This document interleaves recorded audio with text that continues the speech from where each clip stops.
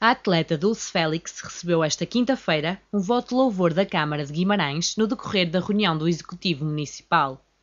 A vimaranense assistiu ao encontro quinzenal dos vereadores, tendo sido felicitada pela proeza alcançada no último fim de semana. Queria, em nome do município, agradecer à Dulce Félix o que tem feito pelo desporto eh, português e permitam-me que cite especificamente o desporto em Guimarães. Tive ver a prova em direto. não tinha o contacto da Dulce, mas o Portilho arranjou-me logo a seguir.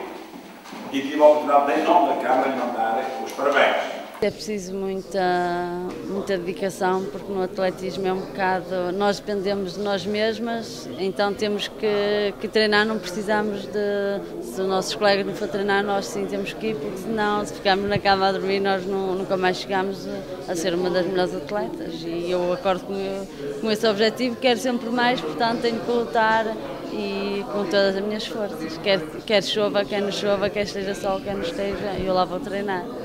Além do voto de louvor, a campeada Europa nos 10 mil metros recebeu do Presidente da Câmara um busto do rei Dom Afonso Henriques. Saber que as pessoas estão, estão ao meu lado e que estão a puxar por mim, isso ainda nos dá mais força para, para, para correr, porque 42 km, como toda a gente sabe, não é, não é uma prova muito fácil e sentir os portugueses a puxarem por nós cada vez dá-nos dá mais força.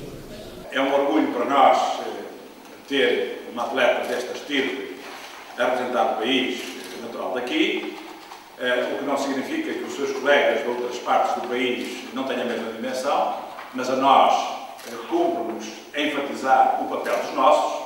Claro que sinto-me uma, uma, uma guerreira e mais ser elogiada pelo nosso Presidente é um orgulho, é um orgulho muito grande sentir a, distin a distinção deste, deste uh, troféu que me deram. Uh, este prémio que me deram é óbvio que vou guardar ao lado da, das minhas medalhas, porque é um momento que nunca pode ser esquecido e esse troféu foi dado a seguir à minha, à minha medalha de ouro, portanto vai para junto dela. Recorde-se que a atleta conquistou no domingo a medalha de ouro nos Europeus de Atletismo em Helsínquia ao sagrar-se campeã nos 10 mil metros.